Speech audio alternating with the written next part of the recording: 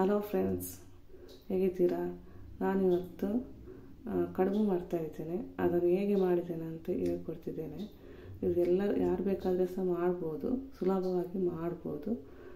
ಕಡುಬು ಮಾಡೋದೇನು ಕಷ್ಟ ಏನಿಲ್ಲ ಕೆಲವೊಂದು ಸಲ ಕಡುಬು ಮಾಡುವಾಗ ಅದು ಎಲೆ ಎಲ್ಲ ಸುತ್ತಬೇಕು, ಅದೆಲ್ಲ ಮಾಡಬೇಕಂತ ಏನಿಲ್ಲ ಇದರಲ್ಲಿ. ಫಸ್ಟಿಗೆ ನಾ, ನಾನಿಲ್ಲಿ ನಾಲ್ಕು ಕಪ್ಪು ಅಕ್ಕಿ ತಗೊಂಡಿದ್ದೇನೆ. ಇದು ಯಾವ ಅಕ್ಕಿ ಅಂತ ಹೇಳಿದರೆ ಇದಕ್ಕೆ ಅರೆಬೆಳ್ತಿಗೆ ಅಕ್ಕಿ ಅಂತ ಹೇಳ್ತೇವೆ ಅಥವಾ ಪ್ಯಾರಾಬಾಯ್ಲ್ಡ್ ಅಕ್ಕಿ ಅಂತ ಹೇಳ್ತೇವೆ ಅಥವಾ ಇಡ್ಲಿ ಅಕ್ಕಿ ಅಂತ ಹೇಳ್ತೇವೆ. ಈ ಅಕ್ಕಿ ತಗೊಂಡಿದ್ದೇನೆ. ಯಾಕೆ ಇದನ್ನು ತಗೊಂಡಿದ್ದಾರೆ ಅಂತ ಹೇಳಿದ್ರೆ ಇದು ಸಾಫ್ಟ್ ಆಗುತ್ತೆ ಇಡ್ಲಿ.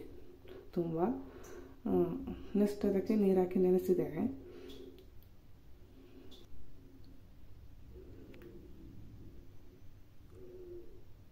ನೆಕ್ಸ್ಟ್ ನಾವು ಉದ್ದಿನಬೇಳೆ ತಗೊಳ್ತಿದ್ದೇವೆ. ಆ, ಈ ಉದ್ದಿನಬೇಳೆ ಎಷ್ಟು ಅಂತ ಹೇಳಿದರೆ ಒಂದೂವರೆ ಕಪ್ ಉದ್ದಿನಬೇಳೆ ತಗೊಳ್ತೀನಿ ನಾನು. ಸಹ ನೀರು ಹಾಕಿ ನೆನೆಸ್ತಾ ಇದ್ದೇನೆ. ನೆನೆಸಿ ನಾಲ್ಕು ನಾಲ್ಕು ಗಂಟೆ ಇಡಬೇಕು ನೆನೆಯೋಕ್ಕೆ. ನೆಕ್ಸ್ಟ್ ನಾವು ರುಬ್ಬೋದು ನಾಲ್ಕು ಗಂಟೆ ಆದಮೇಲೆ. ಈಗ ರುಬ್ತಾ ಇದ್ದೇನೆ ನಾನು ಇದನ್ನು ತೊಳೆದೆಲ್ಲ ನೀರೆಲ್ಲ ಬಸಿದು. ಫಸ್ಟಿಗೆ ನಾವು ಉದ್ದಿನಬೇಳೆ ತಗೊಳ್ಬೇಕು. ಮಿಕ್ಸ್ ಮಾಡಿ ಯಾವತ್ತೂ ಸಹ ರುಬ್ಬಾರ್ದು. ಚೆನ್ನಾಗಿ ಉದ್ದಿನಬೇಳೆ ಸಾಫ್ಟ್ ಆಗುವಾಗೆ ರುಬ್ಬಬೇಕು ಬೆಣ್ಣೆ ಥರ ಬರಬೇಕು. ಆ ಥರ ಇದ್ದರೆ ಮಾತ್ರ ಇಡ್ಲಿ ನಿಮಗೆ ಇಡ್ಲಿ ಆಗಲಿ ಯಾವುದೇ ಕಡುಬು ಆಗಲಿ ಚೆನ್ನಾಗಿ ಸಾಫ್ಟ್ ಬರುತ್ತೆ.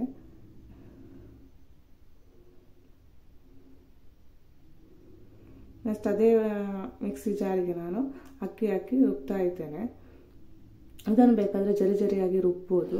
ಸಾಫ್ಟ್ ಬೇಕಾಗಿ ಏನಿಲ್ಲ. ಇದನ್ನು ನಾನು ಜರಿ ಜರಿಯಾಗಿ ರುಬ್ಬಿದ್ದೇನೆ ಆ ಥರ ರುಬ್ಬಿದರೆ ಚೆನ್ನಾಗಿ ಬರುತ್ತೆ ಕಡುಬು ಎಲ್ಲ. ಈಗ ರುಬ್ಬಿ ಆಗಿದೆ. ನೆಕ್ಸ್ಟ್ ಇದನ್ನು ಚೆನ್ನಾಗಿ ಮಿಕ್ಸ್ ಮಾಡಬೇಕು. ಎಷ್ಟಾಗುತ್ತೋ ಅಷ್ಟು ಚೆನ್ನಾಗಿ ಮಿಕ್ಸ್ ಮಾಡಬೇಕು. ಇದೇ ಇರೋದು ಮೇನ್ ಸಾಫ್ಟ್ ಬರಲಿಕ್ಕೆ ಮೇನ್ ಕಾರಣ. ಎರಡು ಸಹ ಉದ್ದಿನಬೇಳೆ ಮತ್ತು ಅಕ್ಕಿ ಎರಡು ಚೆನ್ನಾಗಿ ಮಿಕ್ಸ್ ಆಗಬೇಕು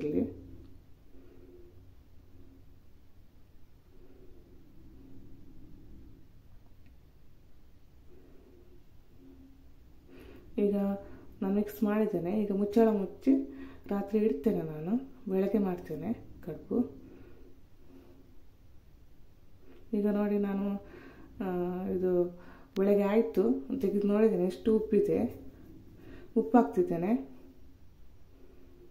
ನೋಡಿ ಯಾವ ರೀತಿ ಬಂದಿದೆ ನೋಡಿ. ಎಷ್ಟು ಮಿಕ್ಸ್ ಆಗಿ ಬೆಣ್ಣೆ ಥರ ಬಂದಿದೆ.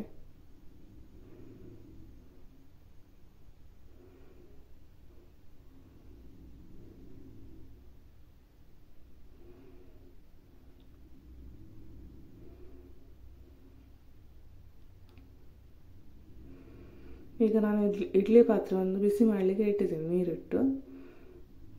ನೀರು ಬಿಸಿ ಆಗ್ತಾ ಇದೆ. ಈಗ ನಾನು ಗೆರಟೆ ತಗೊಂಡಿದ್ದೇನೆ ನಾವು ತೆಂಗಿನಕಾಯಿ ತೆಗೆದು ಅದರದ್ದು ಗೆರಟೆ ಇರುತ್ತಲ್ಲ, ಅದನ್ನು ಯೂಸ್ ಮಾಡಿದ್ದೇನೆ.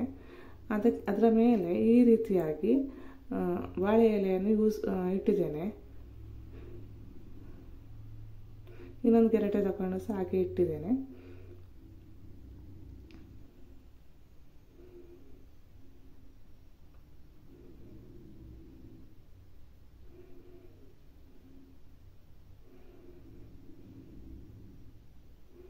ಅದೇ ರೀತಿ ನಾಲ್ಕು ಗೆರಟೆ ಇಟ್ಟಿದ್ದೇನೆ ನಾನು. ಮತ್ತೆ ಹಿಟ್ಟು ಹಾಕ್ತಿದ್ದೇನೆ.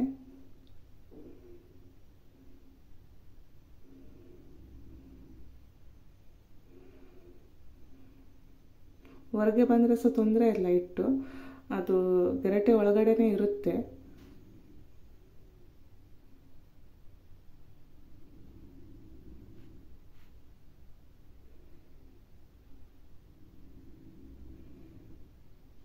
ಗೆರಟೆ ತೊಳೆದಿಡೋದ್ರಿಂದ ಏನು ಪ್ರಾಬ್ಲಮ್ ಇರೋದಿಲ್ಲ